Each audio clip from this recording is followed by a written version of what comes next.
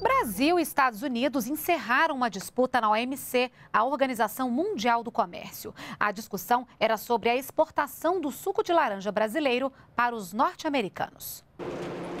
No processo, o Brasil questionava uma metodologia usada para sobretaxar as importações do suco brasileiro. A manobra norte-americana ignorava os valores favoráveis ao Brasil nos cálculos das margens de dumping.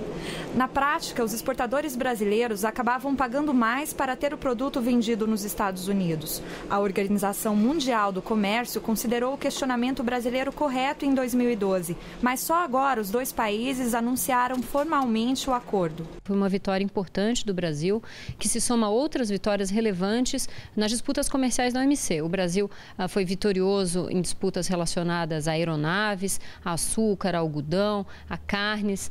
Então, enfim, essa vitória no suco de laranja confirma a posição do Brasil como um país atuante na defesa de seus interesses exportadores. De acordo com as Nações Unidas, o Brasil é o maior exportador de suco de laranja do mundo. No ano passado, nossas exportações ultrapassaram os 2 bilhões de dólares. Os principais principais destinos foram a Bélgica, os Países Baixos e os Estados Unidos.